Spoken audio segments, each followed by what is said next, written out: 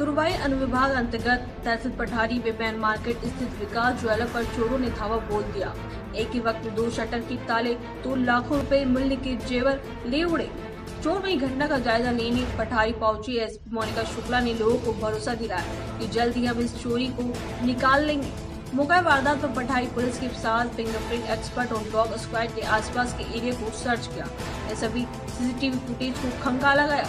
गौरतलब हो कि बेखौफ अपराधी इस तरह की वारदातों को मार्केट में पहले भी अंजाम दे चुके हैं। ये दुकान के मालिक चंद्रमोहन सोनी ने अपनी दुकान में साढ़े छह से सात लाख का नुकसान होना बताया। एक दूसरी दुकान नंद किशोर सोनी की है। एक लाख की चोरी की आशंका है।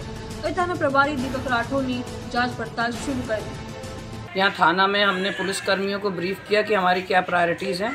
हमारी प्रायोरिटीज़ हैं ट्रैफ़िक सुधारना, हमारी प्रायोरिटीज़ है चोरी कम करना और जो अवैध गतिविधियाँ हैं, उनको रोकना।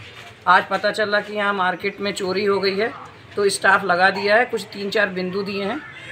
आजू बाजू में सीसीटीवी फुटेज में वो कुछ आए हैं तो उस पर हम काम कर रहे हैं, आशा करते हैं हम इस चोरी को निकाल लेंगे।